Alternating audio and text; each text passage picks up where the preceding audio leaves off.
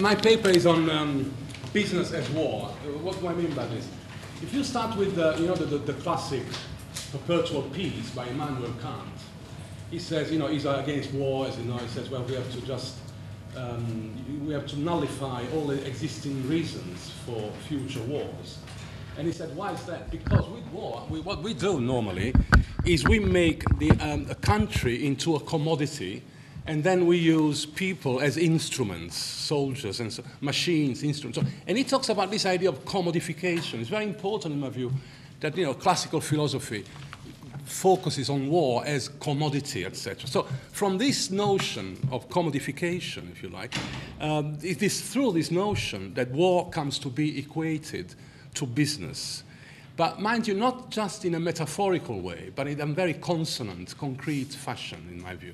So what have I done for this little thing? This is part of a major thing that I'm doing, a new books that I'm doing on the crimes of the economy. So what I've done is I've, I've read some of those manuals that you find in business schools for managers.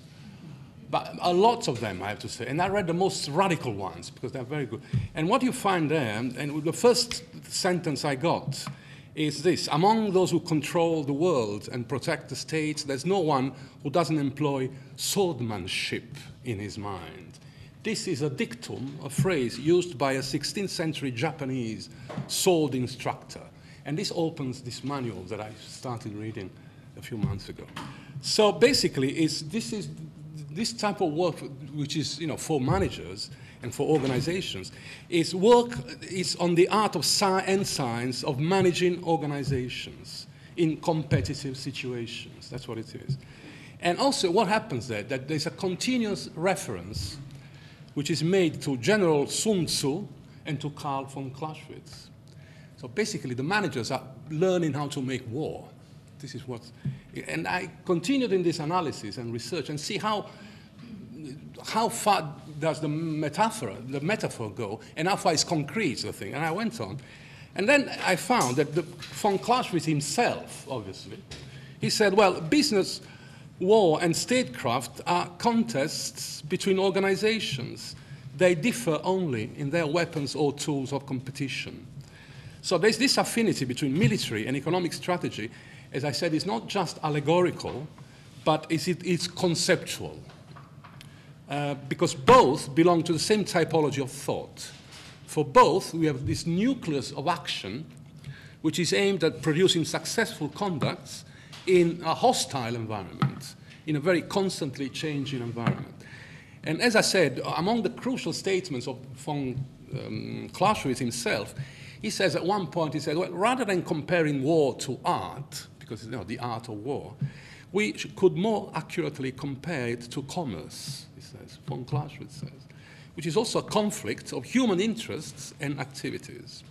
So in business, he says, there's no, there's no peace treaty, there's no armistice day, and only organic and adaptive organizations can thrive, etc., etc.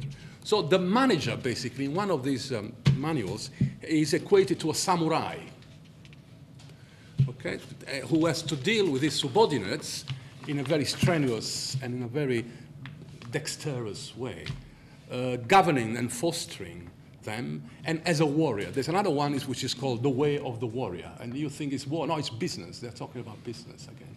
So this is um, Sun Tzu is quoted throughout these manuals.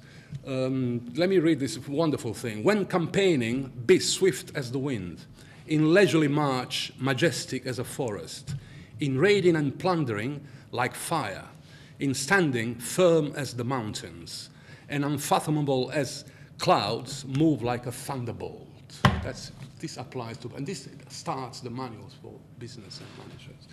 So an agile organization, for example, is like a whirling, a purposeful thunderstorm.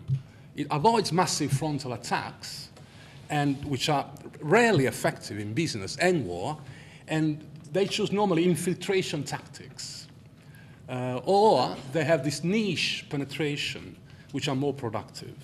And then they give examples, for example, you know, how the Japanese use this approach of infiltrating the market rather than attacking it frontally. And how the, the USA realized how Japan, the Japanese were strong industrially only when the Japanese had already a large share of the market with this you know, maneuvering, etc. Um, then there was other example uh, about the uh, photocopying industry, Xerox, uh, which was then destroyed by Kodak after a while through this technique, uh, which is also called guerrilla technique in marketing.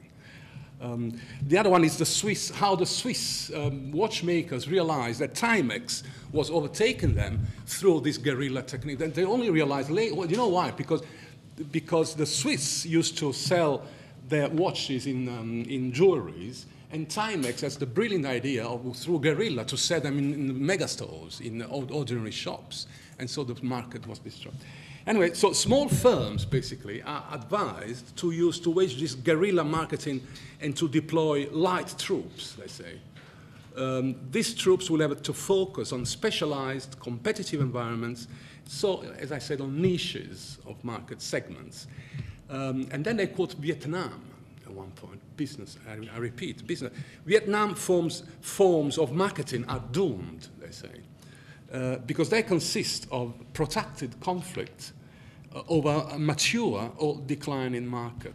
One of these guys says, well, had Lyndon Johnson read the second chapter of The Art of War, the Vietnamese disaster would have been avoided, he says. Um, then there's this guy, I mean, um, this guy who, as a boy, as many boys do, would play with soldiers or would make, you know, models of tanks and aircraft. Well, this guy, his name is very important, Stephen, Stephen Bungay, uh, you, once you, as a boy, you play with you know, tanks, etc., you may shift to strategic studies and tactics, etc. The guy joined uh, the Boston Consulting Group and wrote books on battles and wars, but at the same time, he was acting as a consultant, as a consultant for business people. So he did both things, and he had you know, one foot here, and one foot there. That is a typical. And he said, well, I saw battles not as clashes between nations, or individual commanders, but as clashes between organizations. And von Clausewitz remains the core inspiring figure, particularly for his remark that in war, like in business, there's a gap between appearance and reality. And the gap is described by von Clausewitz as the, the, different, the gulf between the planning and the action and the execution of the thing. So that's one of the important things he said. Um, uh, then, yeah, then there are all these aspects that von, von Clausewitz obviously underline. He talks about friction, he talks about uncertainty. In war, there's always a, degree of uncertainty, of error, accidents, technical difficulties, and the unforeseen, etc., because we are imperfect individuals, he says. And this is translated totally into the business manual as well. So there's insufficient knowledge of the enemy or of the competitor. Um, so we've got, as they say, cognitive limits. And here is the, the, the, the trinity identified by, by von Clausewitz, which is first, in war you need primordial violence, hatred and enmity driven by blind instinct. Second, you need probability and chance is the other aspect. And third, there's a political calculation. So how to perform actions which fits this trinity is the task of the leader. This is the conclusion of one of these manuals. Then they say you have to take the notion of command.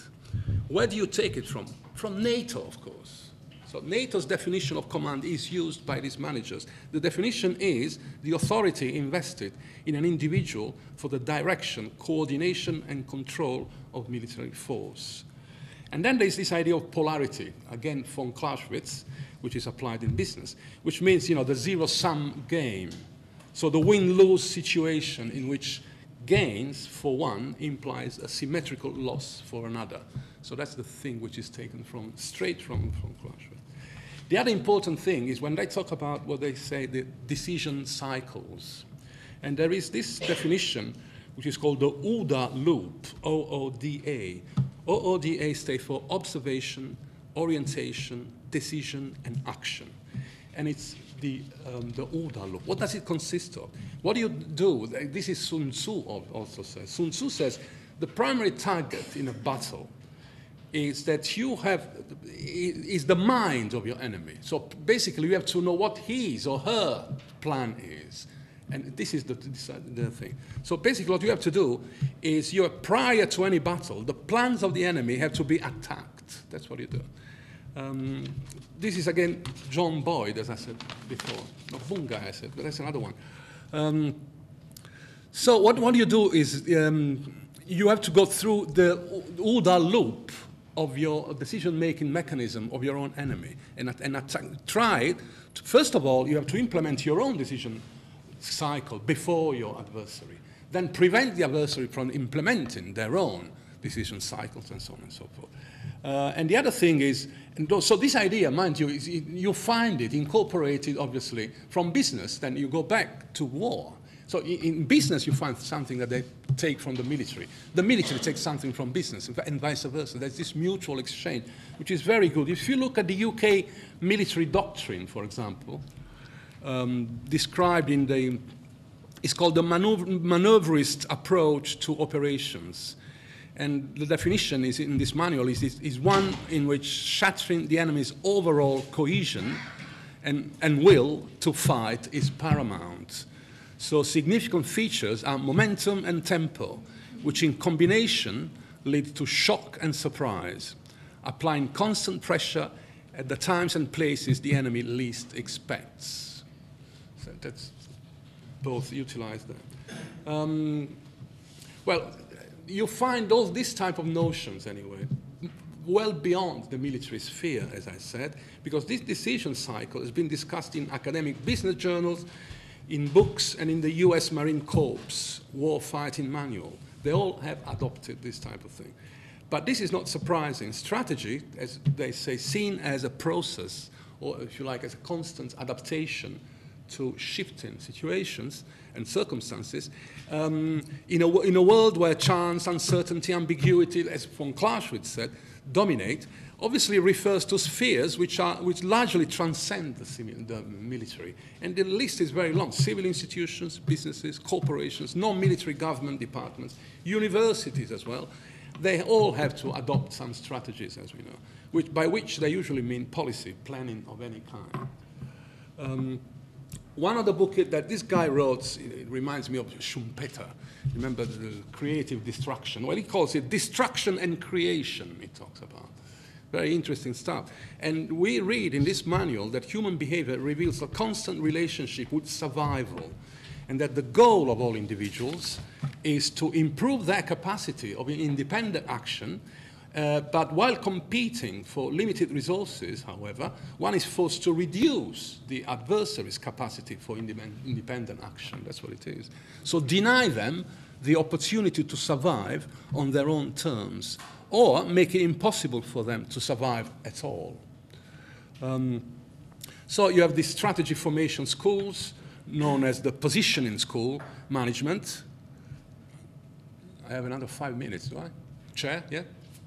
Time keeper timekeeper. Timekeeper. Timekeeper.